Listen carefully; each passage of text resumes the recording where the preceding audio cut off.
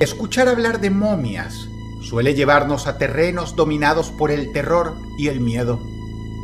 Sin embargo, muchas comunidades basaron parte de su cultura en el acto de la momificación, pero hay un lugar muy singular donde las momias no pasaron por ningún proceso artificial. Ese lugar es Guanajuato.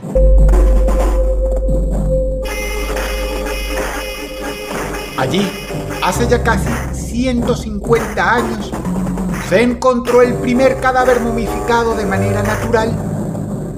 Fue en 1865, en el Panteón de Santa Paula.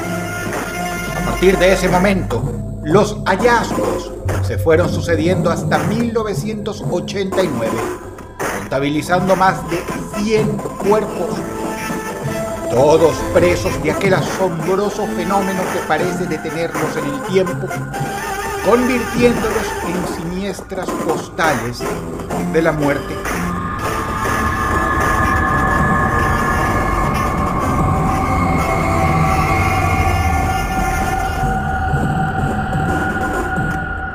Los científicos aseguran que esto sucede gracias a la riqueza mineral del suelo, combinada con el semicálido y constante, así como al viento seco de la región. Estos asombrosos cuerpos son los que hoy se encuentran exhibidos en el Museo de las Momias de Guanajuato. Recorrer este singular museo es una experiencia sumamente terrorífica que los cuerpos momificados tras las vitrinas pertenecen a hombres, mujeres y niños. Ve por las pistolas que están en el asiento de mi carro. Sí, voy.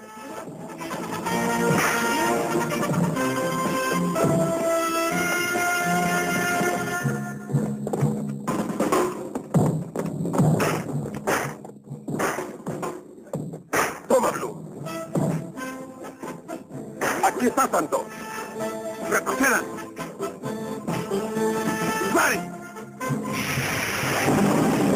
Observarlos es mirar a la muerte cara a cara.